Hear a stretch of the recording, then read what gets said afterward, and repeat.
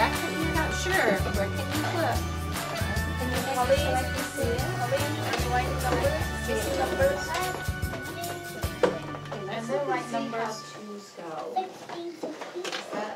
I like to start my day able to greet my students as they come in and have an activity already set up that they can do independently so that I have time to interact with students and meet their needs in the morning. Are we putting them in order?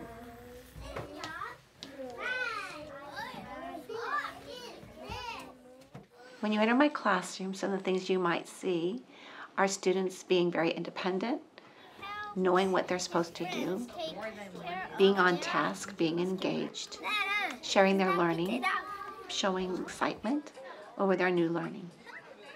In all classrooms, it's important to establish routines so that students have an expectation of, of what they are doing, um, how they can respond to each other, how to make this classroom work in an organized way. So we have morning routines where they come in with an activity. We also will go into student of the day where I will write a message to them and they'll find out who is the star of the day and who will be our line leader, who will be my extra helper for the day. Stand up for star of the day. Yay! I'm gonna Pete. I might use our new words. What is my word? Off. Love and- Yay! I'm looking for det- reading detectives. Here we go. Today, the stars Oh, there's our word. of the girl.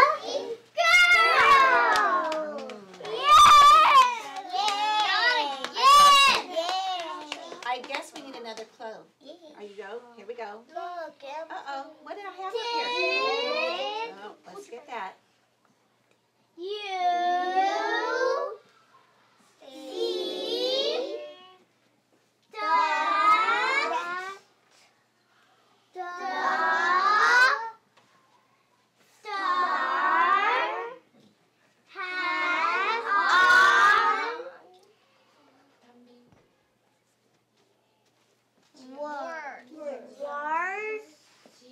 No word, Abigail. I have words here. No words here. I have a word here. I have words here. I know. I know. Who is our star today? What's here? Ava. Ava, what words do you have on today? Um, We usually do a writing workshop time, and we usually do start with a mini lesson. They go out to do their writing. We come back and share. We'll do mini lessons for reading in workshop, and sometimes they'll do independent reading, but other times we'll be doing small group guided reading times. In math time, we'll go over a major concept. We'll have mental math time. We'll work on the calendar. We'll count to a, a, a hundred each day, and then we'll do some games to support that kind of learning. So- So there's lots of things that are kind of part of the routine, but can be switched just little pieces so novelty stays a part of their education too. I know this word. I know this word when I came to university. Something like. I believe it's really important to know where students are, what they know, and what they need to know next so that I can build on the known. What is it they know and where do we need to go next in their education? That way I can scaffold them in their learning in their next steps and they can move along the learning continuum much more quickly. I think it's really important for them to know the foundational pieces of writing and reading so they can be successful later. What do you hear? Okay, you Listen, can come cars, cars. What sounds?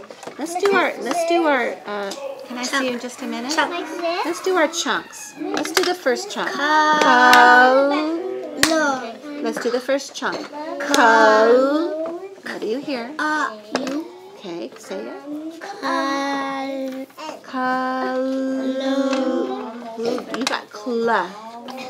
Are we putting them in order? No. Col.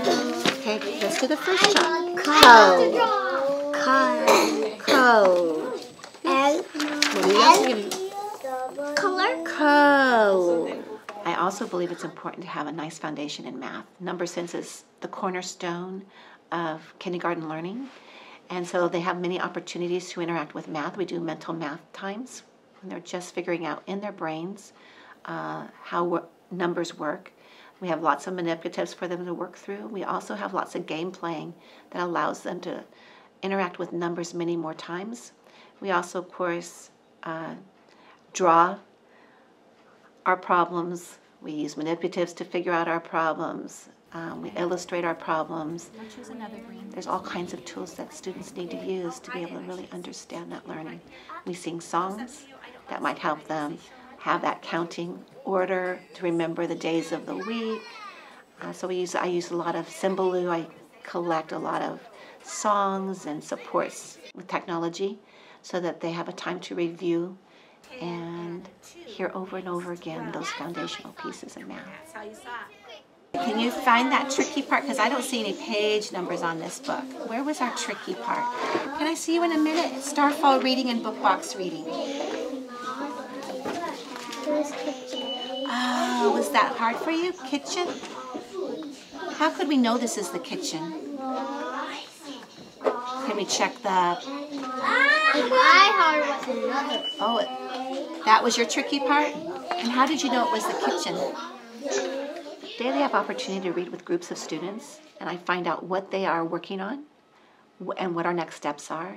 And so if we've learned a in a workshop a mini lesson in reading, I'll sometimes try to carry that over into our guided reading lesson too, so they are practicing those skills. Also, if I'm reading one-on-one with students, I'll work on some of the concepts that we've already been taught in class, and and also just teach and instruct just to the errors or the problems that they're having in their reading. So each child gets some individual attention too. You're going to tell me who the characters were in your book, what the setting was in your book. Look at me, June. You're going to tell me what happened at the beginning, in the middle, and at the end. I believe parents are uh, a part of students' education. They're a real partnership there. And so I try to communicate all our learning here in the classroom through Seesaw so they have a window into what we're doing here and that conversation can take place at home and that they will feel connected to our class and be able to also provide some stimulation for the children on those same topics in their own language. Look.